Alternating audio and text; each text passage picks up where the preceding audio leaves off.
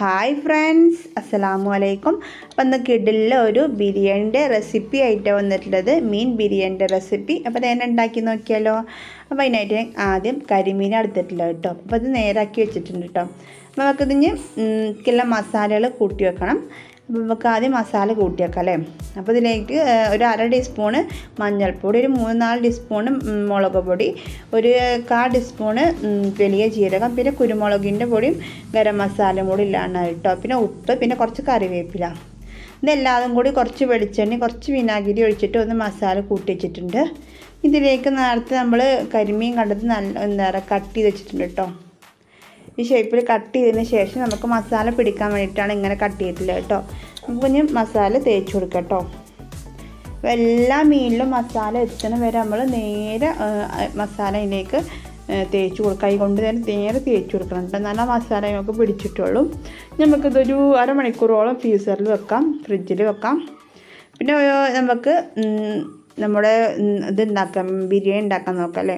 അതിനായിട്ടൊരു pan വെച്ചിട്ടുണ്ട്. അതിലേക്ക് കുറച്ച് നെയ്യും പിന്നെ കുറച്ച് സൺഫ്ലവർ ഓയിൽ ഒഴിച്ചതിന് ശേഷം നമ്മുടെ കുറച്ചുള്ളി ഫ്രൈ ചെയ്തെടുക്കുകയാണ് കേട്ടോ നമ്മൾ ഡെക്കറേഷൻ ചെയ്യാതെ ഉള്ളിയാണ് കേട്ടോ കുറച്ച് മതി കേട്ടോ അത് കുറച്ച് ഞാൻ ചെയ്തെടുക്കാൻ കേട്ടോ അത് കോരിയെടുത്തതിന് ശേഷം നമുക്ക് മുന്തിരി ഒന്ന് ഇട്ടിട്ട് ഒന്ന് ഫ്രൈ ചെയ്തെടുക്കണം രണ്ടും പരിപ്പാണി കഴിഞ്ഞ്. നമുക്ക് ആ എണ്ണയിലേക്ക് തന്നെ കുറച്ച് സവാള ഒരു ഒരു ഒരു സവാള നമ്മൾ ഫ്രൈ ചെയ്യാൻ വേണ്ടിയിട്ട് ഇട്ടിട്ടുണ്ട്. ഇത് ഫ്രൈ അത് ഫ്രൈ ആയതിന് ശേഷം ഇഞ്ചി പച്ചമുളകും വെളുത്തുള്ളിയും പാടെ നമ്മൾ അതിലേക്ക് ഇട്ട് കൊടുത്തിട്ടുണ്ട്. അതിന്റെ ഒരു പച്ച സ്മെല്ല് മാറുന്നവരെ ഒന്നും ഇളക്കി കൊടുക്കുക കേട്ടോ. ഒന്നും കൂടെ ആക്കി കൊടുക്കുക പച്ച സ്മെല്ല് മാറുന്നത് വരെ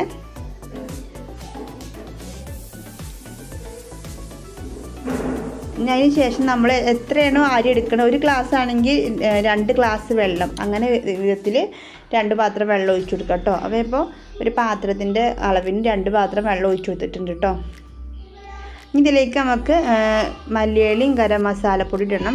അതിന് കുറച്ച് മല്ലിയില ഞാൻ പെട്ടുകൊടുത്തിട്ടുണ്ട് ഇതിലേക്ക് നമുക്ക് കുറച്ച് ഗരം മസാലപ്പൊടി ഇട്ട് കൊടുക്കുന്നുണ്ട് അപ്പോൾ ഗരം മസാലപ്പൊടി അങ്ങനെ ഉണ്ടാക്കാൻ എല്ലാവർക്കും കറി ഉണ്ടാവില്ലേ ഇട്ടിട്ട് നല്ല തിള കുറച്ച് ആവശ്യത്തിനുള്ള ഉപ്പും ഇപ്പം ഇട്ട് കൊടുക്കണം കേട്ടോ നമ്മളെ വെള്ളത്തിലേക്ക്. ഞാൻ അതിന് ശേഷം നല്ല തിളച്ച് വരട്ടെ. അപ്പോൾ നല്ല തിളച്ച് വരുന്നുണ്ട്. അപ്പോൾ ജീരകശാല അരി റോയൽ കുക്കിന്റെ അരി ഞാനിവിടെ കഴുകി വെച്ചിട്ടുണ്ട്. നമുക്ക് ഇതിലേക്ക് ഇട്ട് ഇട്ട് കൊടുക്കാം.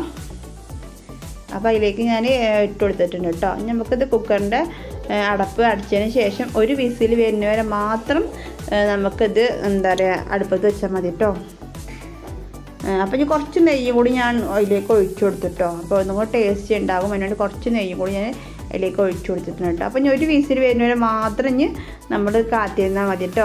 ഒരു വിസിൽ വന്നേക്ക് തന്നെ കുറച്ച് ഇതിലേക്ക് തന്നെ ആവി കളഞ്ഞിട്ട് നമ്മൾ അത് എടുക്കണം. അല്ലെങ്കിൽ അത് അധികമായി പോകും അപ്പോൾ നമുക്കിവിടെ മീൻ മീൻ ഇവിടെ നമ്മൾ ഫ്രീസറിൽ വെച്ചിട്ടുണ്ടായിരുന്നു. അപ്പോൾ നല്ലത് മീനിന്റെ മസാലയൊക്കെ പൊടിച്ചിട്ടുണ്ടായിരുന്നു കേട്ടോ. അപ്പോൾ നമുക്ക് ഞാൻ അതിന് അതിന് എടുത്തിട്ട് ഒന്ന് ഫ്രൈ ചെയ്തെടുക്കണം. അപ്പോൾ ഞാൻ സൺഫ്ലവർ ഓയിൽ ഒഴിച്ചിട്ട് ഇത് ഫ്രൈ ചെയ്തെടുക്കുകയാണ് കേട്ടോ.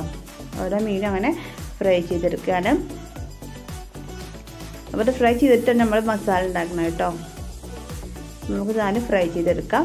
അപ്പോൾ എല്ലാ ടേസ്റ്റിന് കേട്ടോ ഈ എന്താ ബിരിയാണി. നമുക്ക് ഏത് മീനാലും കുഴപ്പമൊന്നുമില്ല. ഇനിയിപ്പോൾ നമ്മളത് മീൻ ഇല്ലെങ്കിൽ ഏത് മീനാണെങ്കിലും കുഴപ്പമില്ല കേട്ടോ.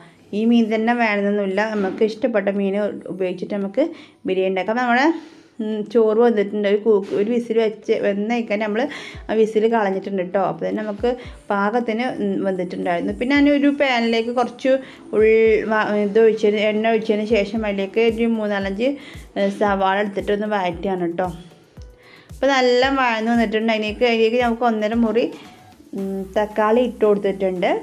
ഞാൻ ഒന്ന് വഴന്ന് വരട്ടെ കേട്ടോ അത് വഴന്നേരം കാത്തിരിക്കാം. അതിന് ശേഷം നമുക്ക് ഇഞ്ചിയും വെളുത്തുള്ളിയും പച്ചമുളകും ചതച്ചത് അതിലേക്ക് ഇട്ട് കൊടുക്കാം കേട്ടോ. കുറച്ച് ഇതിലേക്ക് നല്ല വഴന്നു വന്നിട്ടുണ്ട്. അപ്പോൾ നമുക്ക് ഇതിലേക്ക് ഇഞ്ചിയും പച്ചമുളകും വെളുത്തുള്ളിയും പാടെ ഇട്ട് കൊടുക്കാനുണ്ട് കേട്ടോ. കാരണം എന്നാലും ഒരു പച്ചമണം മാറിനൊന്ന് ഇളക്കി കൊടുക്കണം. അപ്പോൾ അത് ഇട്ട് കൊടുക്കുകയാണ്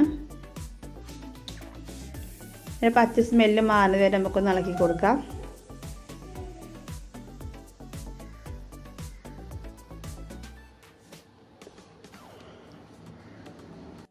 അത് വഴന്നതിന് ശേഷം നമുക്ക് ഇതിലേക്ക് പൊടികൾ ഇട്ട് കൊടുക്കാം കേട്ടോ നമുക്ക് ആദ്യൊരു കാ ടീസ്പൂൺ കാ ടീസ്പൂണ് മഞ്ഞൾപ്പൊടി ഇട്ട് കൊടുത്തിട്ടുണ്ട്. പിന്നെ ഗരം മസാല ഇട്ട് കൊടുത്തിട്ടുണ്ട്.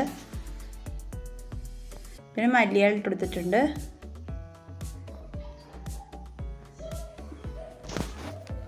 പിന്നെ കുറച്ച് ഉപ്പ് ഉപ്പിട്ട് കൊടുത്തിട്ടുണ്ട്. പിന്നെ കുറച്ച് ഇത് ബിരിയാണി മസാല വേറെ കുറച്ച് നന്നായിട്ട് കൊടുത്തിട്ടുണ്ടായിരുന്നു കേട്ടോ ഇനി പിന്നെ അതിനേക്ക് കുറച്ച് വെള്ളം ഒഴിച്ചു കൊടുക്കുക. ഒരു ചകരം കുറച്ച് പറഞ്ഞാൽ കുറച്ച് വെള്ളം തിളച്ച വെള്ളം കുറച്ച് ഒഴിച്ചു കൊടുക്കുക കേട്ടോ കുറച്ച് മസാല ഉണ്ടാകാൻ വേണ്ടിയിട്ടാണ് കേട്ടോ കാരണം മീൻ ഒന്ന് കടന്നിട്ട് ഒന്ന് സെറ്റായി കിട്ടാൻ വേണ്ടിയിട്ടാണ് കേട്ടോ നമുക്ക് ഇതിലേക്ക് മീൻ ഇട്ട് കൊടുക്കാം. തൈരുണ്ടെങ്കിൽ തൈര് കൂടി ഒഴിച്ചു കൊടുത്താൽ ടേസ്റ്റ് ഉണ്ടാവും അപ്പോൾ തൈരിന്റെ കയ്യിലായിട്ടാണ് അപ്പോൾ അതിലേക്ക് മീൻ ഇട്ട് കൊടുത്തിട്ടുണ്ട്. അപ്പം ഞാൻ മീനൊക്കെ ഇട്ടിട്ട് കുറച്ച് മസാല ഞാൻ അതിന്റെ മുകളിലേക്കും മീനിന്റെ മുകളിലേക്കും ഇട്ട് കൊടുക്കണം. കുറച്ച് മീൻ ഞാൻ വെച്ചിട്ടുള്ളൂ. ബാക്കി കുറച്ച് മീൻ പുറത്തുണ്ട്. കാരണം മുകളിൽ ഡെക്കറേഷൻ ചെയ്യാൻ വേണ്ടി വെച്ചിട്ട് വെച്ചിരിക്കുകയാണ് കേട്ടോ. അപ്പോൾ മസാല കുറച്ച് അതിന്റെ മുകളിലേക്ക് ഇട്ട് കൊടുത്തിട്ടുണ്ട്. പിന്നെ നമുക്ക് ചോറുണ്ട്. ആ ചോറ് നമുക്ക് ഇതിന്റെ മുകളിലേക്ക് ഇട്ടു കുറച്ച് മസാല അതിന്റെ എടുത്തിട്ട് ബാക്കി ആ മീനിന്റെ മുകളിലേക്ക് ഞാൻ ആ ചോറ് ഇട്ട് കൊടുത്തിട്ടോ കുറച്ച് ചോറിട്ടതിന് ശേഷം അതിന്റെ മുകളിൽ കുറച്ച് മുന്തിരി അങ്ങനെ സംഭവങ്ങൾ ഇട്ട് കൊടുക്കാം. അപ്പോൾ കുറച്ച് ചോറ് ഇട്ട് കൊടുക്കാൻ കേട്ടോ. ചോറൊക്കെ പാകത്തിന് വന്നിട്ടുള്ളൂ കേട്ടോ. വെന്ത് തുടങ്ങിയിട്ട് ഒന്നുമില്ല കേട്ടോ. നല്ല പാകത്തിന് ചോറൊക്കെ വന്നിട്ടുള്ളൂ കേട്ടോ. അപ്പം നമുക്ക് കുറച്ച് അണ്ടിപ്പരിപ്പും മുന്തിരി എന്തല്ല വെച്ച് അതിന്റെ മുകളിൽ ഡെക്കറേഷൻ ചെയ്യാം. പിന്നെ അതിന്റെ മുകളിൽ കുറച്ച് മീനല്ല വെറും മസാല മീനിൽ നിന്ന് നമ്മൾ കുറച്ച് മസാല എടുത്തിരുന്നു. ആ മസാല അതിന്റെ മുകളിലേക്ക് കുറച്ച് ഇട്ട് കൊടുക്കാം കേട്ടോ. എല്ലായിടത്തും കൂടെ ഒന്നാക്കി കൊടുക്കുക. പിന്നെ അതിന്റെ മുകളിൽ ചോറിട്ട് കൊടുക്കുക. പിന്നെ മസാല ഇട്ട് കൊടുക്കുക. അങ്ങനെ രണ്ട് മൂന്ന് ലെയർ അങ്ങനെ ഇട്ട് കൊടുത്താൽ ടേസ്റ്റ് ആകാരം മസാല എല്ലായിടത്തേക്കും എടുത്തും ചെയ്യും. ഞാൻ മീൻ ഇട്ട് കൊടുക്കാത്ത അഥവാ നമ്മൾ അങ്ങോട്ടും ഇങ്ങോട്ടും അങ്ങോട്ടും ഇങ്ങോട്ടും നമ്മൾ ചോറ് എടുക്കില്ല. അപ്പോൾ പിന്നെ മീൻ എങ്ങനെ ഉടഞ്ഞാൽ അതിൽ മുള്ളുണ്ടാവും വെച്ചിട്ട് കേട്ടോ ഞാൻ അങ്ങനെ ഇട്ട് കൊടുക്കാത്ത അപ്പോൾ ഇടയിൽ കൂടെ ഇടയിൽ കൂടെ മാത്രം മസാല മാത്രം ഇട്ട് കൊടുക്കുക. അപ്പോൾ മീൻ ഉടഞ്ഞ് പോകില്ല കേട്ടോ അഞ്ച് മിനിറ്റ് നമുക്ക് അതങ്ങനെ ദം ചെയ്ത് അടച്ചിട്ടിട്ട് കുറച്ച് നേരം തീയിട്ടിട്ട് ദം ചെയ്ത് എടുത്തിട്ടുണ്ട് കേട്ടോ. നമുക്കതിന്റെ ചോറൊക്കെ വേറൊരു പ്ലേറ്റിലേക്ക് ഒഴിച്ച് ഇട്ടെടുത്തിട്ടുണ്ട് പിന്നെ നമുക്ക് ആ ഒരു മീൻ വേറെ വെച്ചിട്ടുണ്ട് കേട്ടോ. പിന്നെ മീൻ വേറെ വെച്ചതിന് ശേഷം നമ്മൾ കണ്ടോ ചോറൊക്കെ ഇട്ടിട്ട് അങ്ങനെ ഒരു ഭാഗത്ത് മീനും അങ്ങനെയൊക്കെ ഇട്ടിട്ടുണ്ട്. അപ്പോൾ ടേസ്റ്റി ആയിട്ടുള്ളൊരു മീൻ ബിരിയാണിയാണ് കേട്ടോ. അപ്പോൾ എല്ലാവരും ട്രൈ ചെയ്ത് നോക്കുന്നു അടിപൊളി ടേസ്റ്റാണ് കേട്ടോ. അപ്പോൾ പെട്ടെന്ന് നമുക്ക് ഉണ്ടാക്കാൻ പറ്റിയ ഒരു ബിരിയാണിയാണ്. അപ്പോൾ എല്ലാവരും ട്രൈ ചെയ്ത് നോക്കാം